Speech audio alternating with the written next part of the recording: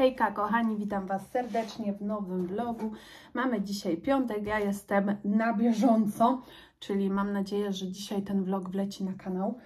Zobaczymy jak to będzie. Przyszłam do Was się pomalować, dlatego że e, wieczorem jadę do Krakowa na nockę do tamtej firmy i no muszę się trochę ogarnąć, chociaż powiem Wam, że teoretycznie Zdarza mi się tam przyjść bez make-upu, bo wieczorami o, jest ciemno, nikt tam nie chodzi. Ale yy, dzisiaj mam, jak widzicie, tragedię na twarzy. Niestety. No i jednak nie wygląda to na tyle dobrze, żeby móc pójść tak yy, do tamtej pracy. Także muszę sobie ponakładać tapety trochę.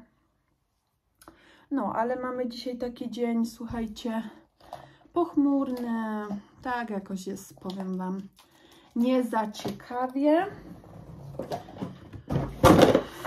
Dzisiaj też tak jakoś miałam spadek energii do działania. Naprawdę nic mi się dzisiaj nie chciało robić. Chyba każdy ma taki dzień, zwłaszcza jak jest taka pogoda. Szukam właśnie mm, podkładu. Ale coś nie mogę znaleźć. Dobra, mam. Ale wyglądam. No nieciekawie. Nieciekawie dzisiaj. No ale trudno, każdy chyba ma gorszy dzień. Dobra. Zaraz będzie lepiej, ogarniemy się. Yy, no, więc tak, dzisiaj idziemy, jedziemy do Krakowa. Muszę też jeszcze wstąpić na osiedle moje, yy, czyli tam, gdzie wcześniej mieszkałam, gdzie jest moje mieszkanko. Dlatego, że mam paczki do odebrania w żabce yy, i muszę też odebrać z poczty yy, jakiś list, bo mam awizo. Nienawidzę listów, powiem Wam, dostawać, bo no nienawidzę tego, dlatego że zazwyczaj, nie wiem czemu, ale jakoś tak yy, nigdy to nie są pozytywne rzeczy. Zawsze albo ktoś coś chce, albo, albo coś innego. Mm, więc nienawidzę. Od razu ja mam, y, wiecie, jakby mi serce po prostu miało wysiąść, jak wiem, że mam jakiś list i nie mogę go odebrać w tym danym momencie. Nie wiem, co to jest, a, a jest to polecone. No nie wiem, mam takie coś, nie wiem, czy Wy też tak macie. Yy, no, ale dzisiaj na szczęście to odbiorę. Więc taki jeden list mnie po prostu tyle nerwów kosztuje teraz, no ale pojedziemy wcześniej i odbierzemy. Ale blado wyglądam coś. Mm, w każdym bądź razie chciałam Wam też powiedzieć, że jutro idziemy do rodziny Łukasza, ponieważ dwa tygodnie temu y, urodziło się dziecko, dziewczynka. Właśnie brat Łukasza jest tatą. Y, to pierwsze ich dziecko, no i jedziemy właściwie pierwszy raz zobaczyć. No i po prostu, tak wiecie, spotkać się i pogadać. Także jutro będzie taki dzień, że połowę dnia prześpię po nocy, chociaż wiecie, że ja tam mogę nawet dużo spać. Znaczy dużo, no dosyć dużo od 12 powiedzmy, że do 6 zdarza mi się, nie ukrywam, spać tam, ale wiecie, to się tak śpi jakby jednym okiem, jak się nie śpi w domu, to to nie jest to samo. No, ale, ale ważne, że można, nie? Sam fakt położenia się, gdzie ja tam mam normalną, wiecie, możliwość położenia się, nie, że ja muszę siedzieć na krześle, y, no to w ogóle już jest spoko, mi się wydaje, więc nie, nie będę narzekać, nie ma co. Tylko jedną noc zazwyczaj mam dwie, tak jak zauważyliście, piątek, sobota. Yy, dlaczego też tak mam? Słuchajcie, bo ja mam właśnie taką, e, tak jestem ugadana, bo teraz mieszkam za Krakowem, a muszę dojeżdżać do Krakowa, e, że właśnie mam te zmiany mm, bardziej weekendowe, bo Łukasz pracuje od poniedziałku do piątku, więc później mnie y, zawozi y, do, do pracy. Wiecie, w piątek on wychodzi z pracy, y, jemy właśnie obiad i szykujemy się do wyjazdu do Krakowa, bo ja idę na noc. I w sobotę mnie odbiera i później w sobotę znowu mnie zawozi wieczorem i odbiera rano w niedzielę, bo on ma weekendy wolne, a ja nie mam samochodu i tak średnio no ogólnie jak nie muszę, to wolę, yy, wolałabym nie jeździć komunikacją miejską, bo po prostu, yy, no wiecie, to nie tylko chodzi o wygodę, ale też chodzi na przykład o to, że ja kiedyś jeździłam właśnie 40 km do Nowej Huty, do szkoły, do technikum i niestety, ale mam taką przypadłość, że yy, no powiedzmy, że mam taki jakby rodzaj klaustrofobii, ale nie zawsze. I w małych pomieszczeniach bardzo źle się czuję. I nieraz zdarzało mi się, czy to w autobusie, yy, czy to yy, na przykład, słuchajcie, w tramwaju, że po prostu mdlałam. Yy, I no, praktycznie omdlewałam, bo, bo na szczęście na, na czas na przykład yy, kucałam, bo to mi pomagało. Jak już czułam mroczki, to, to od razu kucałam. Yy, I właśnie bardzo źle znoszę takie właśnie podróże, bo często wiecie, że busy na pewno u Was też są po prostu zawalone ludźmi i jeszcze, jeszcze są dopychane. Już nie wspomnę, że kwestia bezpieczeństwa jest na bakier, w tych sytuacjach, bo jest nadmiar ludzi, ludzie na ludziach, to jeszcze właśnie no nie ma tego miejsca oddechu, nie ma po prostu mm, no, warunków do tej jazdy. No mówmy się, wiecie o co mi chodzi, że tam naprawdę byle, byle by więcej ludzi dopchać. I później tak jest, że powiem Wam, no opowiem Wam historię właśnie, że kiedyś właśnie był bardzo dopchany bus, do którego wsiadłam.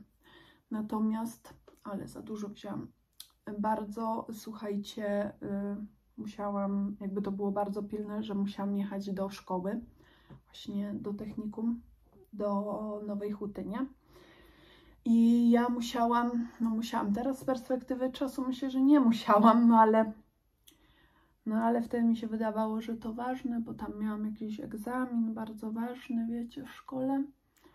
No i dosłownie jechałam, y, jechałam busem 15 minut yy, i nie mogłam czekać na następny. Ogólnie to kwestia, wsi, nawet jak wsiądziecie do półpustego, to przez te wszystkie wsie, jak przejeżdżacie, to, to się i tak zdąży zapewne zapełnić ludźmi, bo ludzie dalej wsiadają i wsiadają i wsiadają, bo każdy jednak chce dojechać do tego Krakowa. No i pamiętam, że jechałam 15 minut i już dosłownie od pierwszych dwóch minut jakby zaczęłam mieć takie jakby lęki, że już zaczęłam sobie, wiecie, wyobrażać to, że nie ma miejsca, że nie mam czym oddychać. W ogóle tam no też wtedy był taki średni zapach, Wam powiem, tak delikatnie ujmując. I po prostu masa perfum i to wszystko się mm, skumulowało. Ja spanikowałam, bo taka jest prawda. Yy, I yy, po prostu zaczęłam mieć tak w okolicach już 15 minut myślałam, że wytrzymam, że dojadę do ofiar Katynia.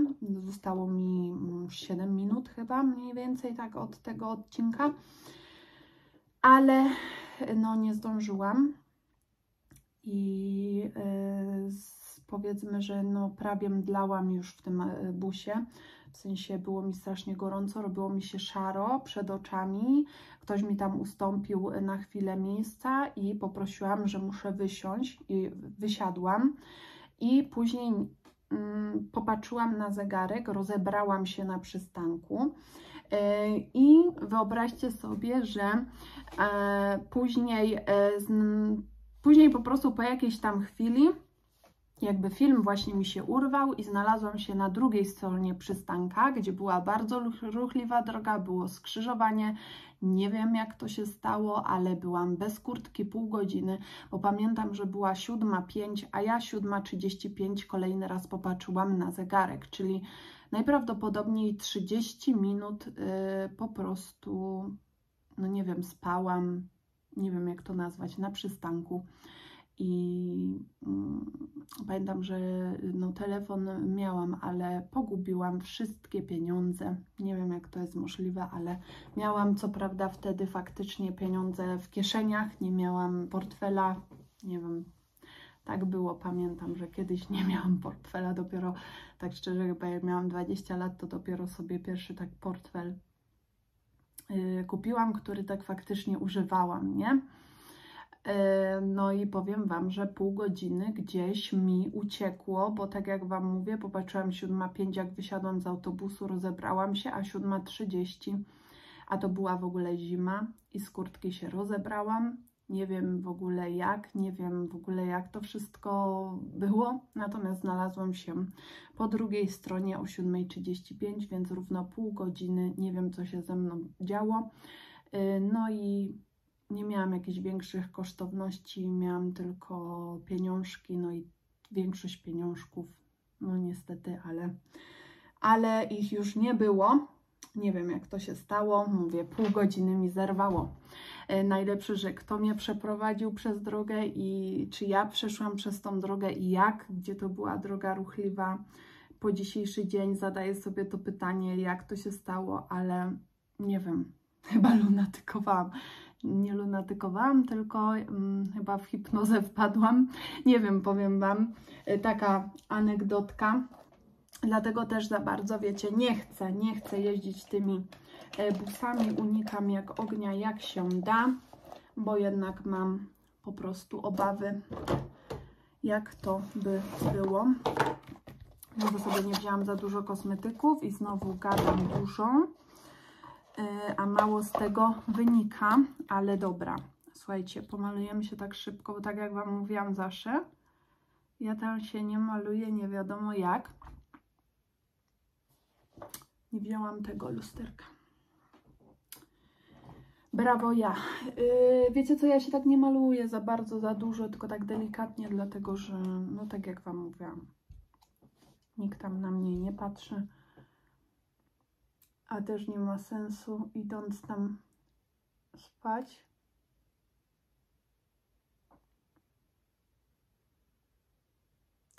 Nie wiadomo, co ze sobą robić, nie? Ogólnie mam okropną twarz teraz. Nie wiem, co mi się stało. Wysypało mnie przeokrutnie. Ale dobra. Życie, nie? My to mamy przerypane osoby, które mają problemy takie jak ja z hormonami, że no niestety, ale często towarzyszy temu bardzo niefajny trądzik. No i co? Powiem Wam, że tak, przyszły mi wczoraj, e, przyszła mi ziemia e, uniwersalna, to będę miała właśnie do tych super tuni, na wiosnę myślę, że już będziemy się zabierać, w sensie myślę, że już od początku marca będziemy, jak tylko pogoda pozwoli, zabierać się za mm, donice drewniane, jak się uda. Mam nadzieję, że Łukasz mi je zbije, mm, bo donice bardzo dużo kosztują. W ogóle robienie takiego ogrodu y, kosztuje, no, a ja robię po taniości, no bo nie mam pieniążków, żeby tak szastać, zrobić tak ładnie ogród, no to trzeba dużo własnej pracy. A to zresztą w tym roku to będzie tylko takie, wiecie, mm, w części tylko zrobione, no bo żeby zrobić tak super ogród, jak ja bym sobie życzyła, no to naprawdę potrzeba dużo pieniążków i dużo pracy i przede wszystkim wiedzy, a ja wiedzę mam taką, że wiecie, dopiero się uczę i na pewno będzie tak, że nie jedna roślina się nie przyjmie na przykład, nie? Yy, zaraz idę na dół, będziemy robili pizzę już trzeci raz w tym tygodniu, dlatego że robię pizzę e, taką domową e, z ciasta drożdżowego, lepiej. No i Łukaszowi bardzo posmakowało i dzisiaj też sobie zażyczył. No i ja też bym zjadła chętnie pizzę, bo jakoś tak mięso, nie wiem.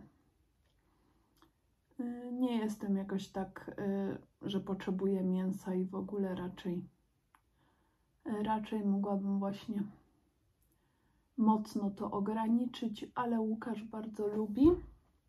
No to jednak często jakieś te kotlety i coś tam z mięsa na ten obiad robię. Ale ogólnie właśnie wolę jakąś tam pizzę. Tylko właśnie domową najbardziej, bo ja lubię takie grubsze ciasto i a takiego ciasta właściwie dobrego to ja nigdy nie jadłam w żadnej jakiejś restauracji, bo jednak inaczej jak w domu zrobicie. To samo jest z ciastami, jednak inaczej jak w domu. Chyba, że Wam wypieka to jakaś tam osoba, która właśnie robi sobie w domu tak chałupniczo, to te ciasta dobrze smakują, ale generalnie takie kupowane nawet w piekarni to jednak to nie jest to samo. Przynajmniej ja tak uważam. Tak samo jak uważam, że pierogi muszą być yy, lepione, yy, bo inne za bardzo nie smakują. No, w ostateczności zjem, ale, ale średnio powiem Wam, że mi smakuje. Także raczej takie domowe rzeczy. Oj, nie ten pędzel.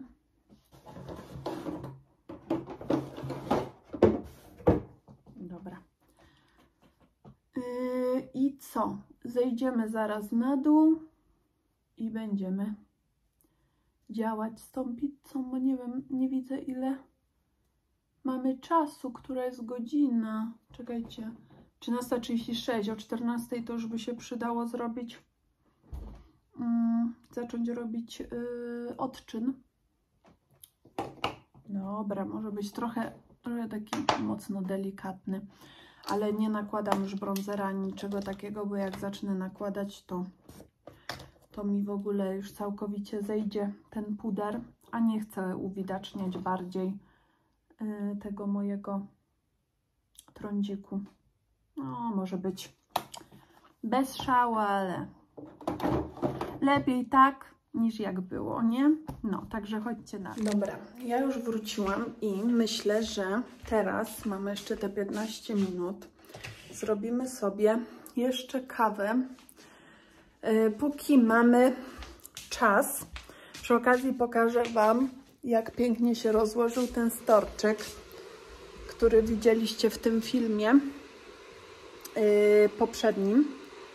Yy, spójrzcie. Tak on wygląda, więc fajnie. To jest ten właśnie, o ten, ten, ten tu z przodu. To jest ten, co się tak rozkładał. No i myślę, że fajnie to zaczyna wyglądać. Będziemy dalej gadać, bo w sumie jakoś tak chyba lubię po prostu dużo gadać z Wami. Tu Was wrzucę, czekajcie. W ogóle znowu muszę Wam światła trochę wrzucić, bo nic nie będziecie widzieć. Więc wrzucę Wam światło. Tu w ogóle najlepiej właściwie wyglądam, dlatego że jest najlepsze światło do nagrywek, ale Teraz jak ja mam tu postawić ten telefon, żeby nie było widać, a że mnie nie nagrywała od góry? Bez sensu. Czekajcie, jeszcze inaczej. Czy teraz mnie będzie dobrze widać? Ok, dobra. No, więc robimy kawę i lecimy z tym dniem, bo już jest praktycznie 14, a zaraz trzeba do Krakowa za 3 godziny. Mam nadzieję, że w Petko będą jakieś e, ciuszki dla takich maluszków. Powiem Wam, że jak e, chyba w grudniu urodziło się dziecko właśnie też jakby kolegi, powiedzmy Łukasza, no nieistotne, Y, to pamiętam, że y, był problem, bo nie było ciuszków dla maluszków. Nie wiem, jakoś tak było w tym czasie, w tym Pepko. A znowuż e, ja, ja oczywiście Iwa wtedy zmotoryzowana, a Łukasz był w pracy. No i musiałam kupić to, co było, więc chyba spędziłam godzinę czasu e, w tym jednym Pepko, żeby coś wybrać. I jeszcze poszłam do Rossmana i dokupywałam tam e, chusteczki nawilżane, te Water Wipes, bo wiem, że są dobre dla dzieci. Mleko. Coś się przewaliło, ale to nic. Yy, no, więc tak. Tak to wygląda. Zaraz kierci też jedzonko damy, bo już jest właściwie pora. Ona teraz jada trzy razy dziennie, bo tutaj ma ogród i po prostu jak jadłam mm, dwa razy dziennie, to y, bardzo chudła. Jak mieszkała u mnie w mieszkaniu, miałam małe mieszkanie 27-metrowe, miałam mniej ruchu, y, no to raczej bardziej tyła niż chudła przy y, jedzeniu dwa razy dziennie, a teraz będąc tutaj, gdzie ma więcej jakby do pobiegania i ze mną chodzi na spacery, no to musi jeść po prostu no więcej, tak? Damy jej właściwie już jedzonko, no bo w sumie 14 to jest tak pora w miarę ok. Piarusia, jemy? Jedzonko? Jemy? Przy okazji właściwie polecajka dla osób, które mają yy, pieski. Już polecę Wam karmę. Ja mam taką, jeśli chodzi o suchą, bo jej daję yy, suchą i mokrą. Po południu mi daję właśnie suchą. I to jest taka sucha, yy, że ona jest yy, soft, czyli że ona jest taka bardziej poduszeczka jest, yy, nie jest taka twarda jak tamte wszystkie yy, suche, tylko jest taka pół twarda, pół miękka. No i moja Garusia ją uwielbia, tak?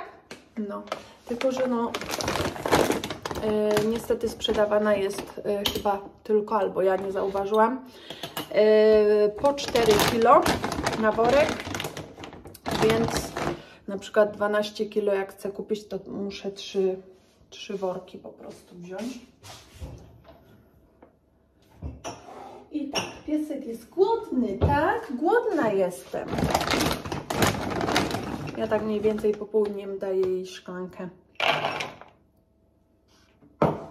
I tyle. Jemy? Jemy jedzonko, chodź. Chodź jeść. Dobra.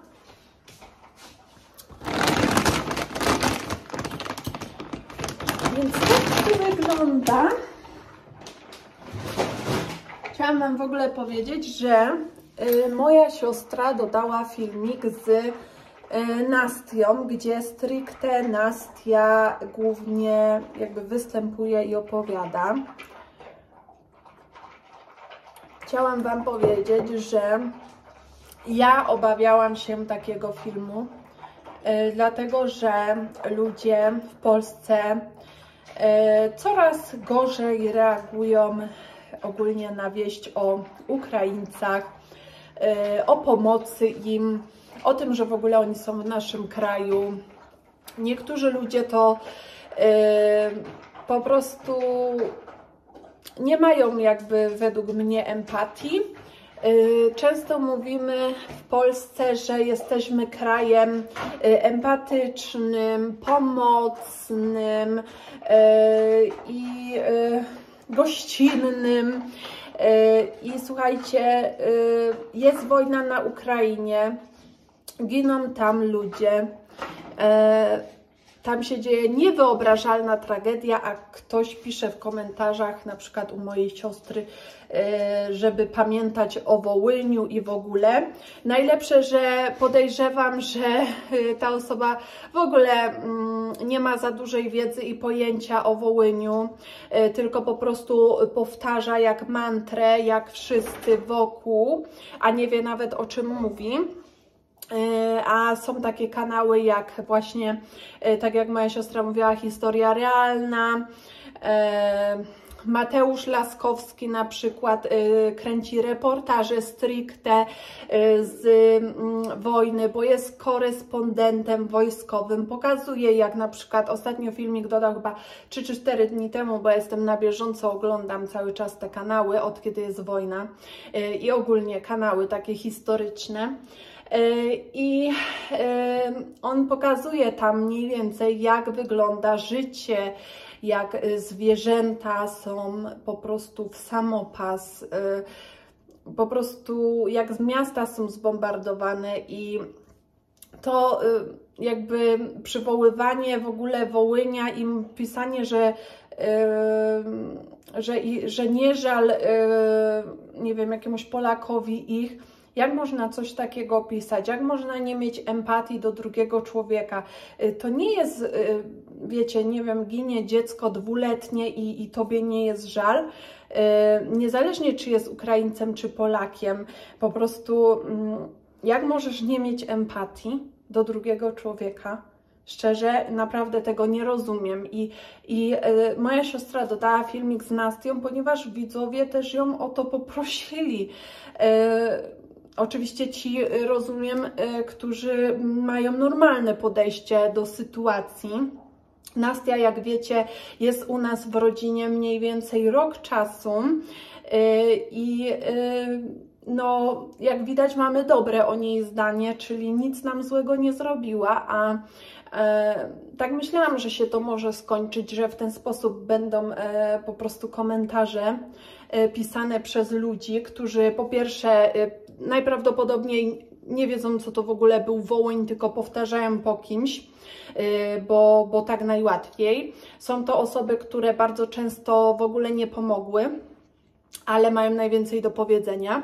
Y, I są to osoby, y, według mnie, jeśli ktoś pisze, że dobrze im tak, czyli że giną cywile, biedni ludzie przez to, że politycy rozpętali wojnę i ktoś pisze, że dobrze im tak, a mówię, giną dzieci, giną zwierzęta, normalni ludzie, mm, no to dla mnie to taka osoba to naprawdę, no coś jest z nią nie tak, naprawdę, niezależnie wydaje mi się od narodowości, jak ginie, nie wiem, dziecko czy człowiek yy, niewinny, bezbronny, yy, to nie powinno się tak mówić. I tak samo jakby przywoływanie Wołynia, gdzie to było y, po prostu y, przed jakby naszym pokoleniem, tak?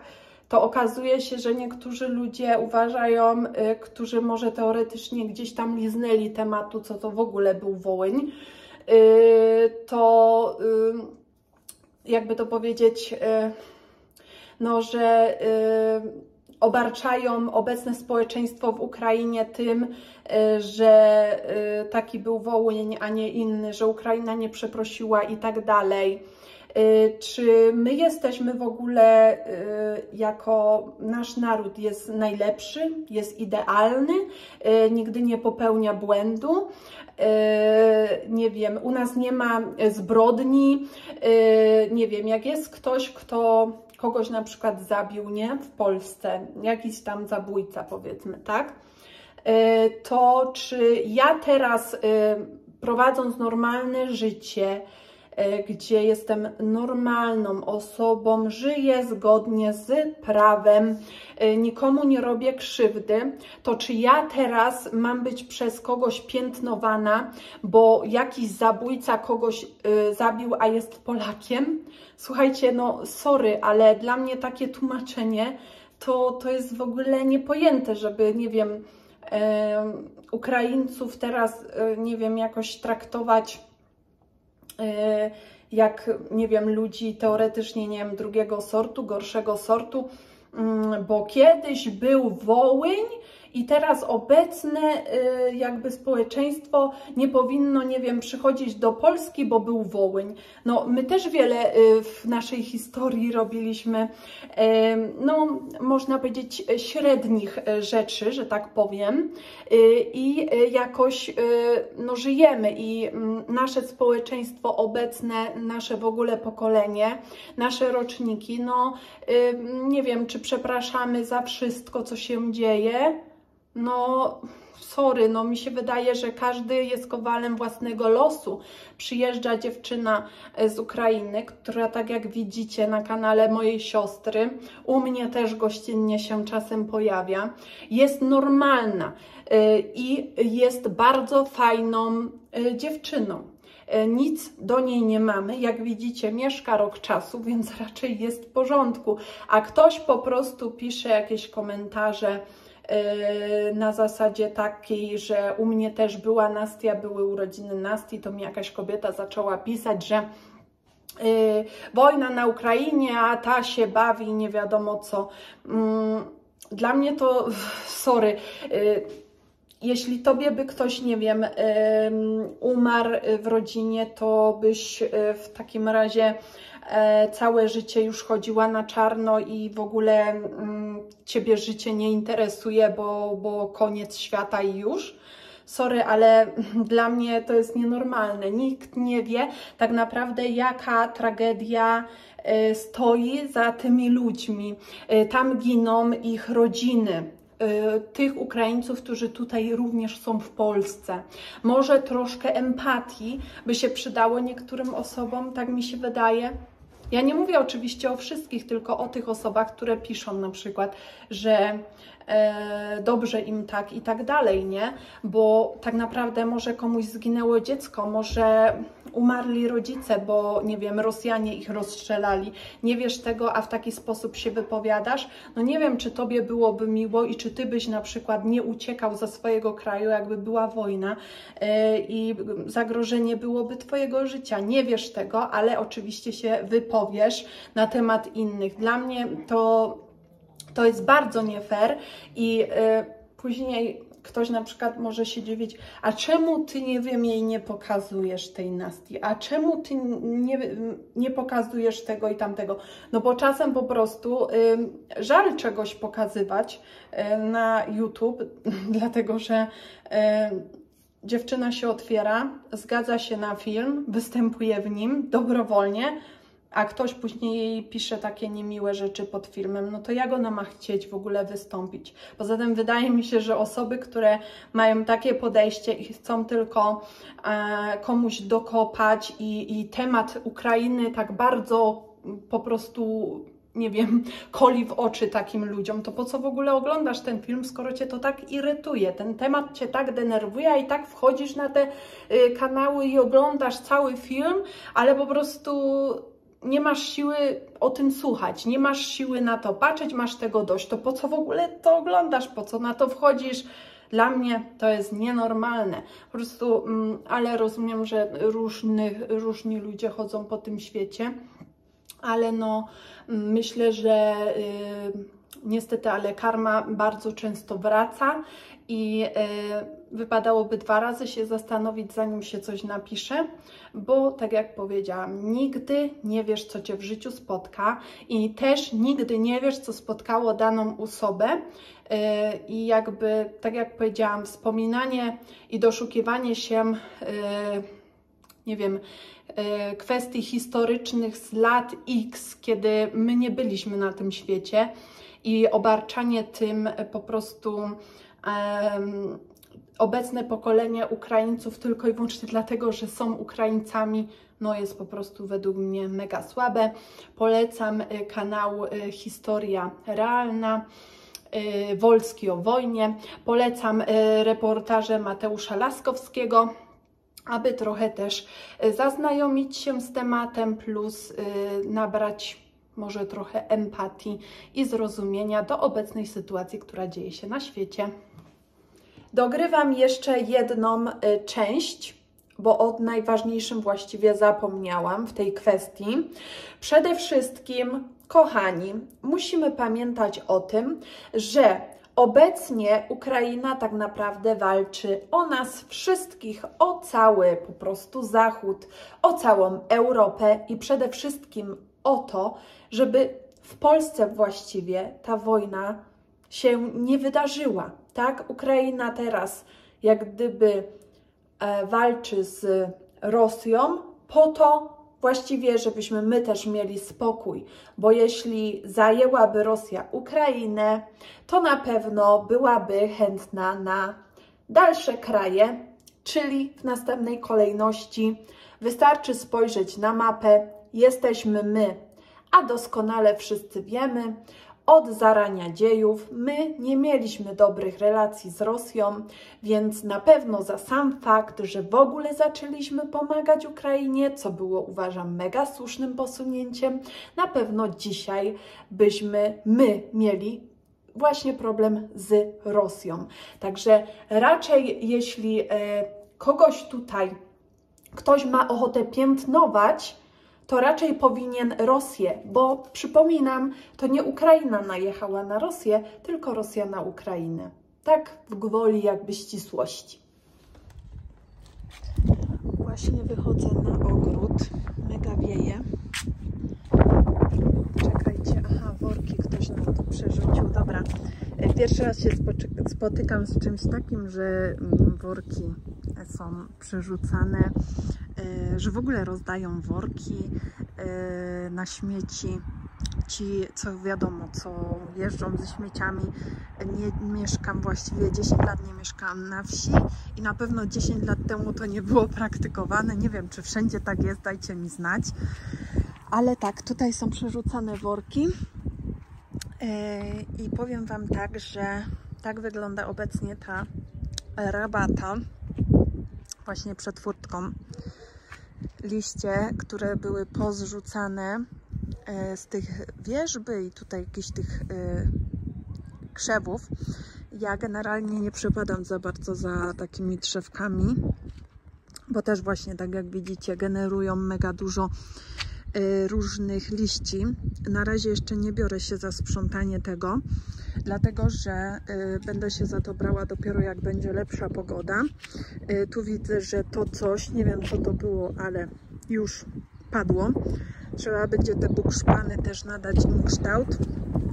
Tu jest w miarę, bo tu nie ma takich właśnie krzewów dużo, tylko troszkę, ale tu jest więcej, no ja tak nie przepadam za bardzo, no ale Łukasz lubi, więc no muszą zostać, ale myślę, że tutaj gdzieś wejdą róże, przynajmniej mam taką nadzieję. Więc tak to wygląda i myślę właśnie, że z początkiem marca wezmę się za wstępne porządki i przygotowywanie tutaj powoli tego wszystkiego do, y, do moich róż, które przyjdą, mam nadzieję, na przełomie marca a kwietnia. Tutaj właśnie bym chciała hortensję Anabel. No, zobaczymy jak to będzie. Już się nie mogę doczekać, ale podobno w niedzielę ma być jeszcze Y, śnieg. Mam nadzieję, że nie. No, bo ja już czekam strasznie na wiosnę. Kochani, ja się z Wami będę żegnała. Dziękuję, że byliście dzisiaj ze mną. Żegnam się z Wami, póki jeszcze jest w miarę spoko pogoda. E, w sensie słoneczko świeci, dlatego że później już będzie całkowita pikseloza. Dziękuję, że byliście dzisiaj ze mną. Oczywiście zachęcam Was do zasubskrybowania mojego kanału. Zbliżamy się do tysiąca, także byłoby mi bardzo miło, gdybyś właśnie dał subskrypcję i łapkę w górę lub w dół, jak wolisz. Także dziękuję, że byliście dzisiaj ze mną. Zapraszam na kolejne vlogi. Buziaki, trzymajcie się i do następnego.